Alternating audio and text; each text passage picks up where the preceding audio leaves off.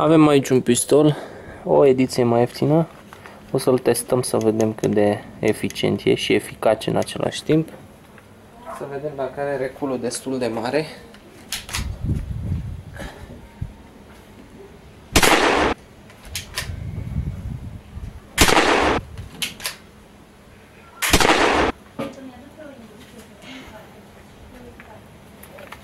S-a descurcat binișor.